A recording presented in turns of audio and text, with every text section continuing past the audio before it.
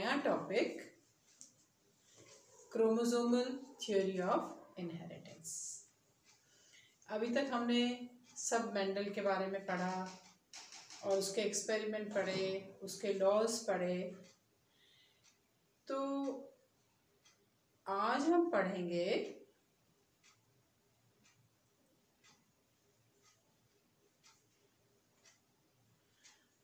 Good morning आज मैं आपको एक नया टॉपिक पढ़ाऊँगी क्रोमोसोमल थ्योरी ऑफ़ इनहेरिटेंस आज का टॉपिक हमारा chromosomal theory of inheritance inheritance अब ये क्रोमोसोमल थ्योरी ऑफ़ इनहेरिटेंस क्या है? देखो, अभी तक आपने क्या पढ़ा था? मेंडल के एक्सपेरिमेंट मेंडल के प्रिंसिपल और कुछ ऐसे पैटर्न इनहेरिटेंस के जो मेंडल को फॉलो नहीं करते। तो मेंडल ने तो बहुत काम किया। और मेंडल के जो वर्क था वो किसी ने रिकॉग्नाइज करा ही नहीं। मेंडल ने पी प्लांट में कब काम करना शुरू करा? मेंडल ने पी प्लांट में काम करना शुरू करा था 1856 में। 1856 में मेंडल ने पी प्लांट के ऊपर वर्क करा। और वो उस समय ना तो किसी को नॉलेज थी सेल की, क्रोमोसोम की, सेल डिवीज़न की, न्यूक्लियस किसी को पता नहीं था। उसने तो सिर्फ़ कैरेक्टर देखे और उस देखा कि इसके दो डिफरेंट फॉर्म हैं और एक्सपेरिमेंट कर दिया। फिर अब मेंडल ने अपने जितना भी वर्क था, उसको पब्लिश करा। उसने पब्लिश कब करा अपने वर्क को? 1865 में मेंडल पब्लिश्ड हिज वर्क लेकिन उसके वर्क को किसी ने रिकॉग्नाइज नहीं करा, किसी ने एक्सेप्ट भी नहीं करा। उसका वर्क रिकॉग्नाइज हुआ उसकी डेथ के बहुत साल के बाद। और his work was recognized in 1900 में उसके वर्क को रिकॉग्नाइज करा लोगों ने। तो सबसे पहले हम इस थ्योरी में जाने से पहले क्या करेंगे? ये पढ़ेंगे कि मेंडल का वर्क क्यों रिकॉग्नाइज नहीं हुआ? मेंडल डाइड इन 1884 मेंडल की जो डेथ हो गई थी, वो 1884 में हो गई थी। लेकिन उसका वर्क कब रिकॉग्नाइज हुआ? 1900 में। तो सबसे पहले मैं आपको बताऊँगी कि what is a reason behind non acceptance of Mendelian work पहले हमने क्या पढ़ा था? What is the reason for the success Mendel के सक्सेस का रीजन क्या था? अब हमने क्या पढ़ना है कि what was the reason that why his work was not recognized by Charles Darwin और दूसरे जो उस समय के साइंटिस्ट वर्कर थे, उन्होंने उसके काम को क्यों रिकॉग्नाइज नहीं करा? सबसे पहला रीजन था मैं क्या बता रही हूँ आपको? Reason for non acceptance for of Mendelian work तो फ़र्स्ट रीजन क्या था उसका? The first reason was there was no discovery of what microscopy there was no proper microscopy जो आपके माइक्रोस्कोप है उसकी there was this is one reason क्योंकि जब भाई देखो माइक्रोस्कोप ही प्रॉपर नहीं है तो आप कैसे सेल देखेंगे? कैसे न्यूक्लियस कैसे क्रोमोसोम है ना? आज के ज़माने में इलेक्ट्रॉन माइक्रोस्कोप है और बहुत सेंसिटिव माइक्रोस्कोप है. But that time there was no secondly आज आपको कम्युनिकेट करना है. अब देखो कोविड टाइम चल रहा है. सब बच्चे पढ़ाई कर रहे हैं? कैसे? ऑनलाइन तो आज क्या है? कम्युनिकेशन कितना स्ट्रांग है? मेरा वीडियो आप दो मिनट के बाद देख लोगे। लेकिन उस समय क्या प्रॉब्लम थी? There was too much of communication gap उस समय बहुत प्रॉब्लम थी कम्युनिकेशन की, कि जो उसने वर्क पब्लिश करा, वो लोगों तक पहुँचा कि नहीं पहुँचा, और लोगों ने उसको अच्छे से पढ़ नहीं पाए तो there was a problem for what communication एक, ये भी बड़ा फैक्टर था क्या? कम्युनिकेशन का। अगर आप किसी बात को कम्युनिकेट नहीं करेंगे, दूसरे तक नहीं पहुंचाएँगे तो how the people will assess whether it is correct और not the communication was one factor फिर मेंडल ने क्या कहा था? मेंडल ने क्या कॉन्सेप्ट दी थी? मेंडल की कॉन्सेप्ट थी he has given the concept of concept of factor उसने कहा कि क्या है? फैक्टर्स हैं, जो कि किस पैटर्न में रहते हैं? डिस्क्रीट पैटर्न में रहते हैं। Mendel has given the concept of factor which are present in discrete form, and he also said there is no blending. है ना? मेंडल ने कहा था कि ट्रेट कभी ब्लेंड नहीं होते हैं। जबकि हमने एग्ज़ाम्पल पढ़ लिए हैं को डोमिनेंस पढ़ लिया है इनकम्प्लीट डोमिनेंस पढ़ लिया है। There is the blending of trait blending होती है। ठीक है? अच्छा फिर उससे भी बड़ी बात। मेंडल ने पहली बार क्या करा, जो एक्सपेरिमेंट करे थे, उसका एक मैथमेटिकल एनालिसिस दिया। उसको स्टैटिस्टिक्स से वर्कआउट करा। पॉसिबिलिटी निकाली प्रोबेबिलिटी बताई, जो कि आम लोग उसको एक्सेप्ट नहीं कर पाए। जो उसके कलीग्स थे वर्कर्स साथ के लोग थे, उन्होंने भी उसको एक्सेप्ट नहीं करा कि भाई ये क्या कर रहा है ये मेंडल तो ही हैज़ गिवन व्हाट क्या दिया उसने? Mathematical mathematical and statistical analysis ये उसने स्टैटिस्टिकल एनालिसिस करा। हालाँकि आज हम फिर से स्टैटिस्टिकल एनालिसिस करते हैं मैथमेटिक्स अप्लाई करते हैं प्रोबेबिलिटी के रूल्स अप्लाई करते हैं यूनिट स्क्वायर में। लेकिन that time it was very new and nobody accepted it then सबसे और भी इससे बड़ी प्रॉब्लम थी कि he could not give physical evidence वो क्या करा? कोई चीज़ मैं मैं कहती हूँ, भाई देखो, ये एक पेन है and it writes so I show you this pen and I make this pen write तो ये क्या है? एक फ़िज़िकल एविडेंस है। मैं दिखा सकती हूँ उसको।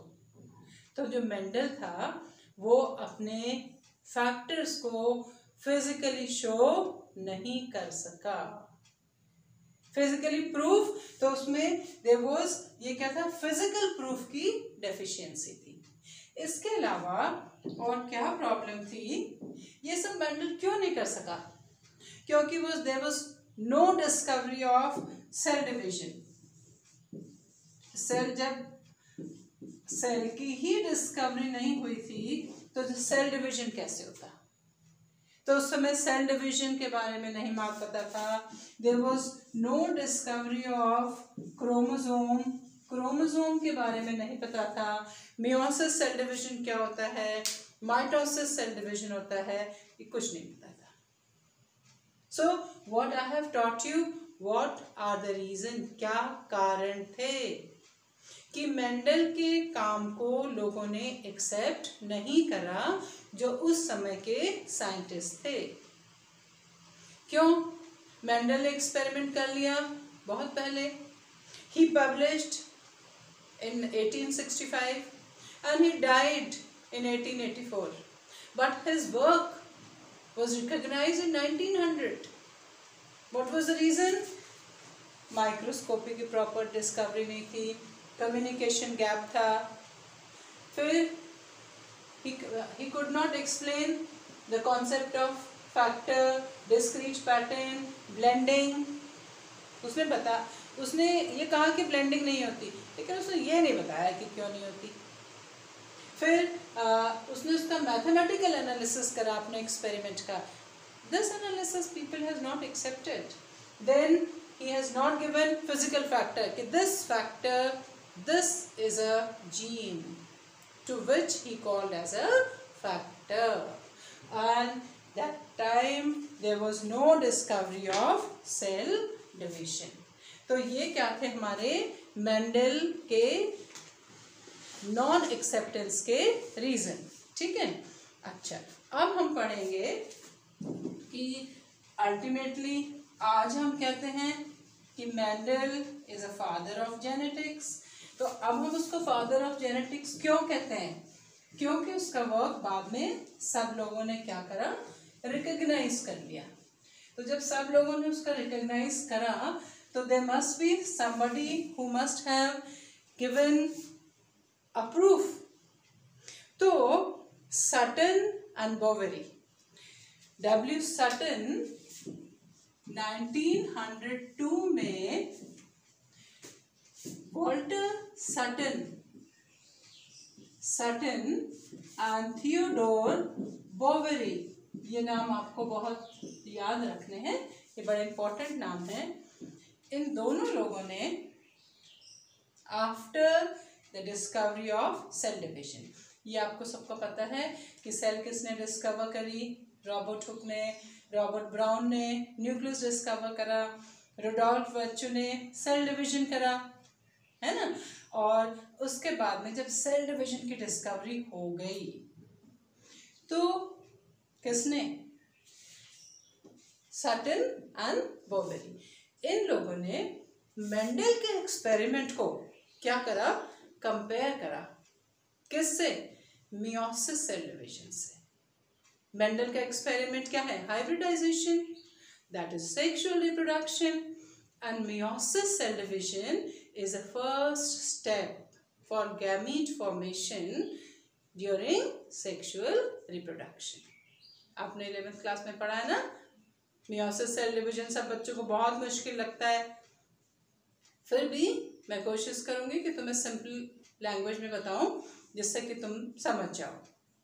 और अगर किसी बच्चे को, किसी भी स्टूडेंट को कहीं कोई डाउट या प्रॉब्लम होती है तो वो मेरे वीडियो में कमेंट कर सकता है और मैं उसका आंसर उसको कमेंट्स में भेज दूँगी। तो चलिए, अब हम अपने टॉपिक को आगे बढ़ाते हुए, क्या है कि सटन एंड बोवेरी ने क्या करा? कंपैरिजन करा किसके बीच में? मियोसिस सेल डिवीज़न और मेंडल का एक्सपेरिमेंट ठीक है?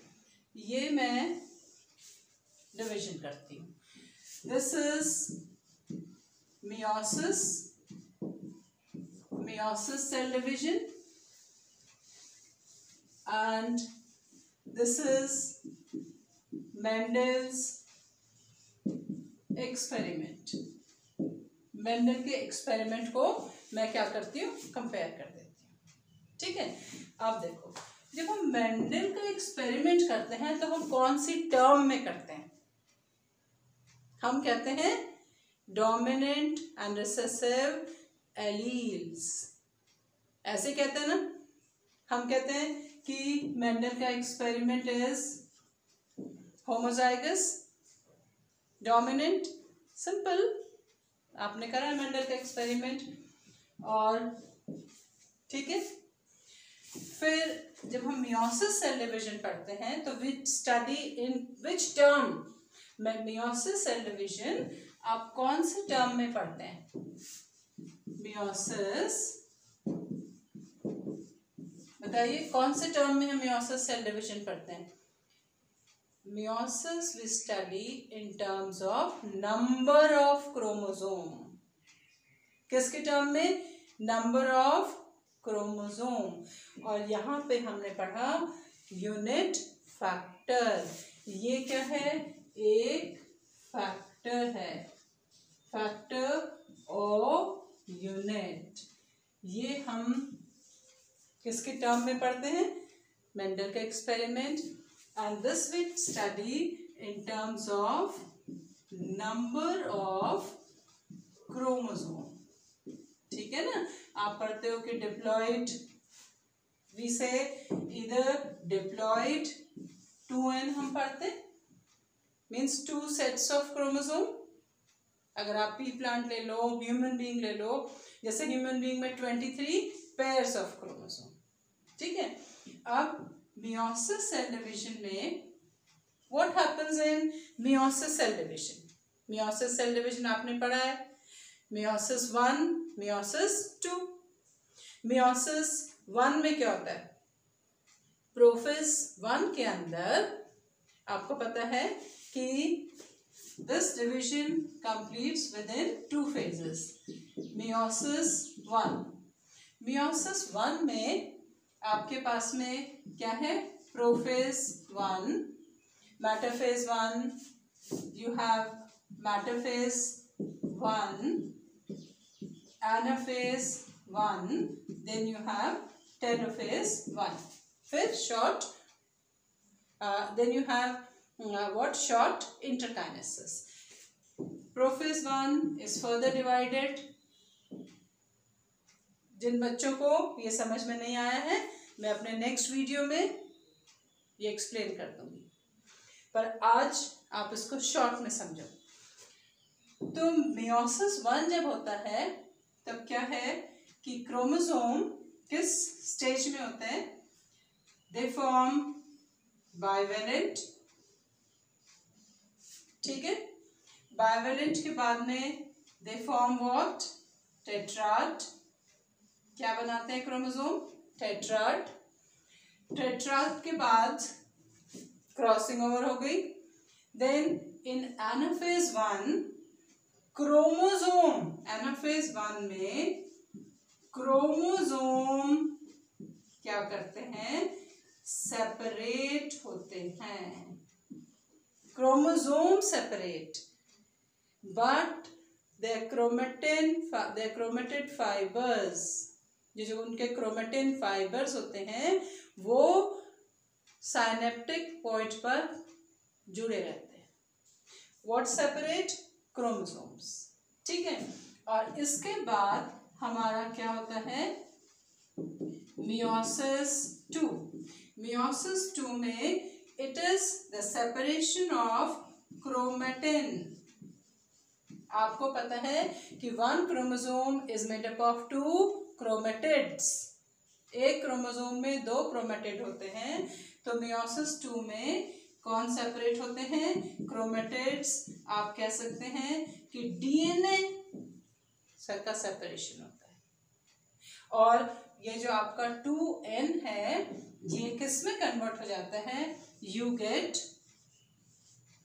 here only you get haploid और यहाँ पे आपको फोर हैप्लॉइड डॉटर सेल मिल जाती है। अब हम किसकी बात करें? मेंडल्स एक्सपेरिमेंट की। मेंडल के एक्सपेरिमेंट में क्या है कि फैक्टर्स क्या हैं? पैर में। फैक्टर्स पैर में जब वो गैमिट बनाएँगे तो क्या होगा गैमिट फैक्टर सेपरेट हो गए। ठीक है? और ये क्या है हमारे? गैमिट्स फैक्टर सेपरेट हो गए। अब जब फर्टिलाइजेशन हुआ the two factors come together and factor फिर से किस कंडीशन में आ गए? पेयर में आ गए। पेयर में भी होमोजाइगस और हेट्रोजाइगस ठीक ऐसा ही कहा हुआ? मियोसिस सेल डिवीज़न में। मियोसिस सेल डिवीज़न में क्या हुआ कि जो डिप्लॉयड सेल थी, जब क्रोमोसोम का नंबर क्या था? डबल सेट में था तो मियोसिस वन में ये क्या डिवीज़न हो गया? हैप्लॉइड हो मियोसिस टू में मियोसिस टू में क्रोमेटेड सेपरेट हो गए। chromatid सेपरेट हो गए। And these are called what is gametes ये भी गैमीट है और ये भी गैमीट है। ठीक है? अब आप देखो, इस गैमेट को इससे कंपेयर करो। In according to Mendel gamete has only one allele according to meiosis cell division there is single set of chromosome है ना? मियोसिस सेल डिवीज़न में गैमिट के अंदर क्रोमोसोम का एक सेट है। ठीक है? और गैमिट में मेंडल के एक्सपेरिमेंट के अंदर according only one allele is there दोनों एक ही चीज़ है। और जब ये दोनों गैमिट फ्यूज हुए तो डिप्लॉयडी रिस्टोर हो गई जाइगोट बन गया। अब यहाँ पर भी जब फीमेल गैमेट और मेल गैमेट ये haploid haploid when they fuse together diploidy is restore है ना?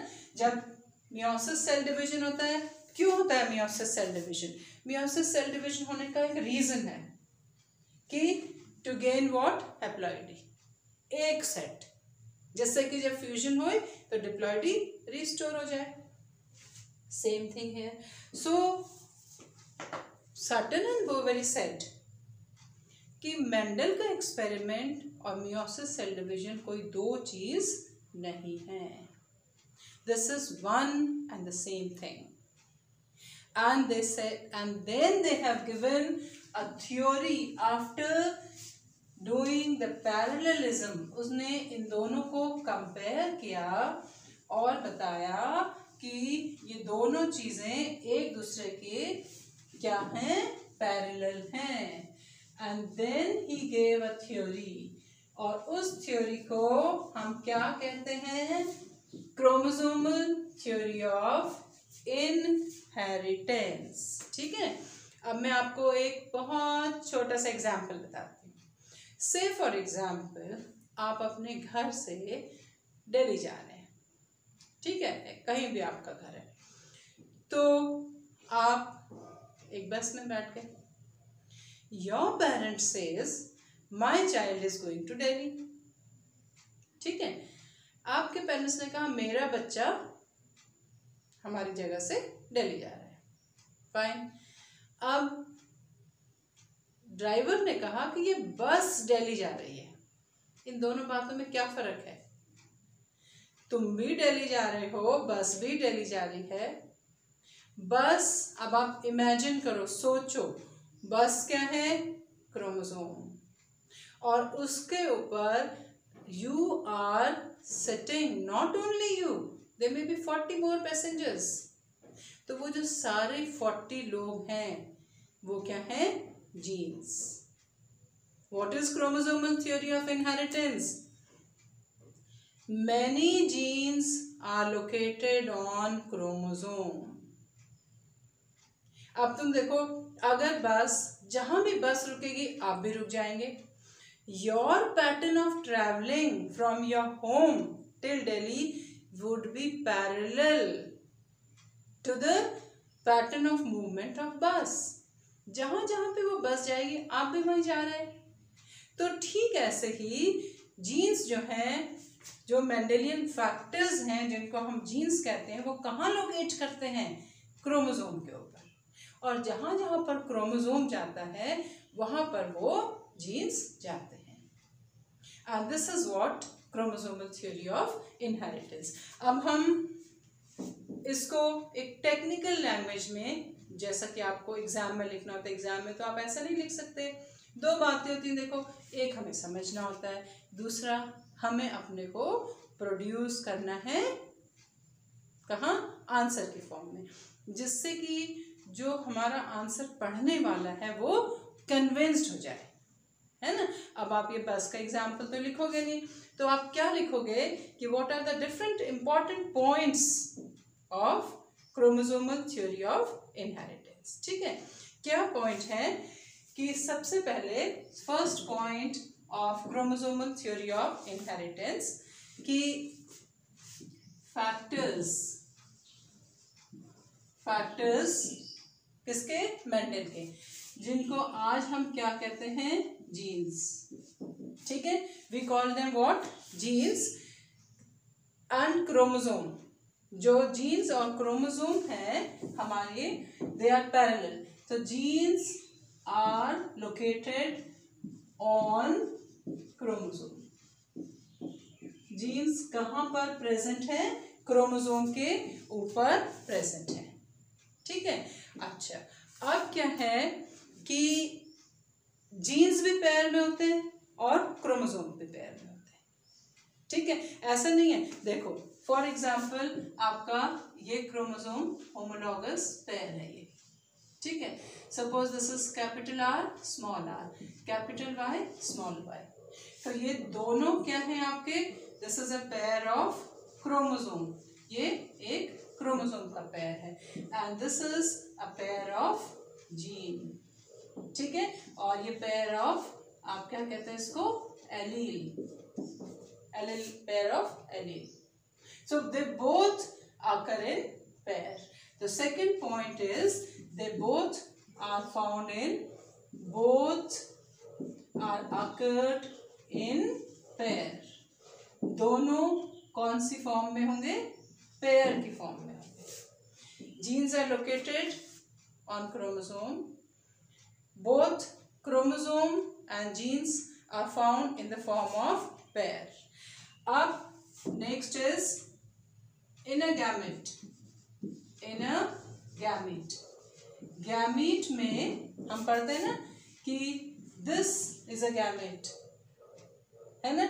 In a gamete there is only only one allele. And so as there is only, there is only one chromosome. Only one chromosome.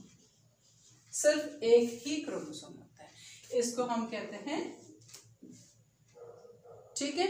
And the last point that at the time of fertilisation किस समय? जब क्या होगा? Fertilisation होगा। They both दोनों के दोनों क्या करते हैं? restore what diploidy they both restore diploidy this is chromosomal theory of inheritance क्या हमने पढ़ा कि it is the chromosome which carry the genes genes are not alone the pattern of inheritance of gene is parallel to the pattern of inheritance of chromosome chromosome और gene एक साथ चलते हैं। आप बस में बैठे हैं, आप वहीं जाएँगे जहाँ पर बस जा रही है। ठीक है? तो आपने ये chromosomal theory of inheritance travel कर ली ना? समझ में आया?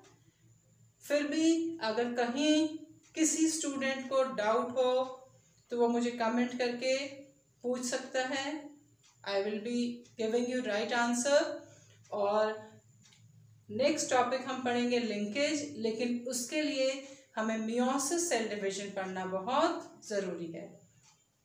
तो मैं अपने नेक्स्ट वीडियो में आपको मियोसिस सेल डिवीज़न एक्सप्लेन करूँगी शॉर्ट में, जिससे कि आने वाला टॉपिक हम समझ पाए। Thank you